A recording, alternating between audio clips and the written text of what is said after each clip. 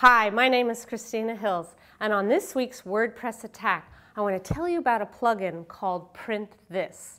Now, what this plugin does is it gives your readers an easy way to print out your post or your page.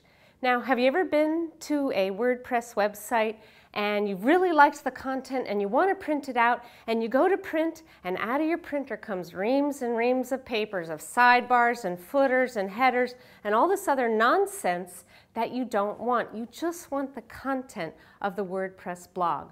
So, go get this free plugin called Print This by Lester Chan.